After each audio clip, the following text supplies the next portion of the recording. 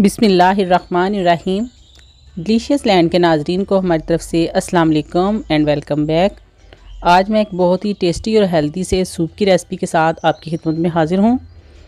और ये सब्ज़ियाँ हैं जिसमें मशरूम्स हैं, गाजरें थाइम लिया है थोड़ा सा फ्लेवर के लिए। दो तीन जवे लहसन के लिए उनको फाइनली चॉप्ड कर लिया है। ग्रीन ऑनियन है, उसको काट लिया है छोटे छोटे बारीक से। काली मिर्च, नमक हंसपे टेस्ट और थोड़ा सा हम इसमें लेंगे मक्खन। इसके अलावा हम इसमें शामिल करेंगे फ़िश और फ़िश के लिए मैंने सिलेक्शन किया है सलमोन की।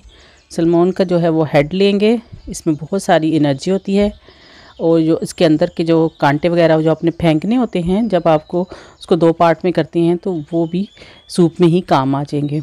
सिर्फ़ इस चीज़ का ख्याल रखना है कि जो आँख है वो हम निकाल लेंगे, इसकी इसको काट के उतार देंगे। एक साइड से ऑलरेडी काट दी है और दूसरी साइड से भी इसको तेज़ छुरी वगैरह की मदद से काट के निकाल देंगे। और बाकी का ये जो चीज़ है, सारा इसका मटेरियल ये सूप में यूज़ हो जाएगा। एक आलू को मैंने बॉयल कर लिया है। मक्खन को किसी भी बर्तन जिसमें आपने सूप बनाना है, उसमें डाल लें जब ये अच्छे से गर्म हो जाए, तब इसमें शामिल करेंगे लहसुन। ये तीन से चार जवे हैं, इसको बहुत ही फ़ाइन मैंने चॉप किया हुआ है, बहुत बारीक सा। जब वो जाए, तब इसमें प्याज डाल देंगे। एक दो चम्मच चलाने के बाद कटी हुई गाजरें डालेंगे, और गाजरें बहुत ही बारीक काटी हैं। इसी तरह मशरूम्स भी मैंने बहुत ही बारीक काटे हैं।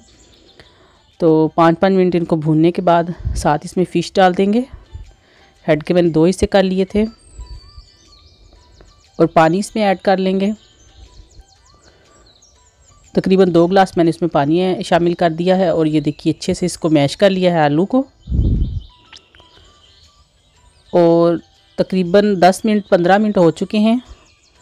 तो फ़िश बहुत अच्छे से पक गई है और सूप में इसका असर आ गया है। अब हम आराम से इसको निकाल लेंगे। थोड़ा सा इसको ठंडा करेंगे और फिर हाथ की मदद से बहुत ही आराम के साथ, बहुत केयरफुली अपने सारे कांटे जो हैं वो निकाल देने हैं और जो इसमें मीट है उसको अलग कर लेना है और बाद में भी इसको केयरफुली अच्छे से चेक कर लीजिएगा कि किसी किस्म का कोई भी कांटा वगैरह इसमें ना रह जाए ताकि सूप में जब आप इसमें डालें तो सूप का मज़ा आपके मुँह में ख़राब आपको एकदम से फील ना हो। सब्ज़ियाँ भी गल चुकी हैं, सूप तकरीबन रेडी है, आप इसकी फ़ाइनल इसको कंप्लीट करते हैं, उसके लिए जो मैश किया हुआ आलू है, वो इसमें ऐड कर देंगे। और ऐड करने के बाद इसको अच्छे से मिक्स करेंगे, जिससे इसका फ्लेवर टेस्ट बहुत अच्छा हो जाएगा, साथ में इसमें थोड़ी सी थिकनेस आ जाएगी। तो यही सूप का मज़ा आता है कि आप इस तरह इसमें वेजिटेबल्स डालें कि आपको खाने में प्रॉब्लम ना हो। नमक, एक टीस्पून काली मिर्च, एक टीस्पून ये दोनों चीज़ें हंसपे टेस्ट आप कम या ज़्यादा कर सकते हैं। थाइम डाला है, ये थोड़ा सा फ्लेवर के लिए।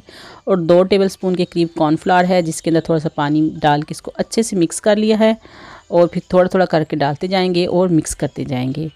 तो फाइनली हम इसमें डालेंगे फ़िश के पीसीस जो कि ऑलरेडी हमने बहुत ही केयरफुली उनको नीट कर लिया है कांटों से। लो जी, हमारा सूप बिल्कुल रेडी है, इतना टेस्टी और इतना हेल्दी मुझे उम्मीद है कि आप इसको ट्राई करेंगे तो ज़रूर आपको बहुत ही ज़्यादा पसंद आने वाला है और आप फिर इसको इन बार बार ट्राई करेंगे।